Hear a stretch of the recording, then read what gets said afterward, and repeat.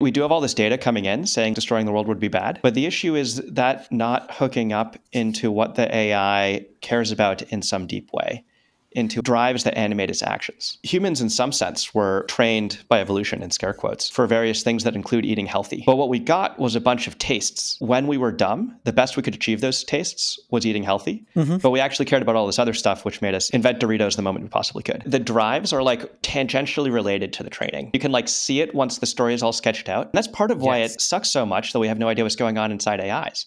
Because when we don't know what's going on inside there, we can imagine it's exactly what we want. Have you seen those charts of like the human metabolic process?